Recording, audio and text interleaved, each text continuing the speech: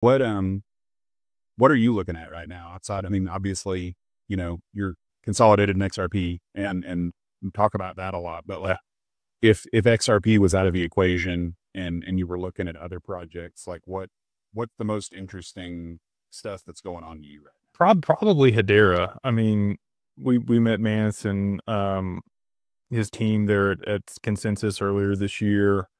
Um, they were talking about tokenization of RWAs at that event.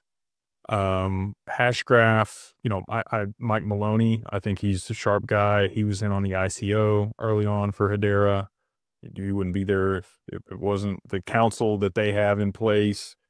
Google, IBM, Dell, Boeing, like banks, other other large conglomerates.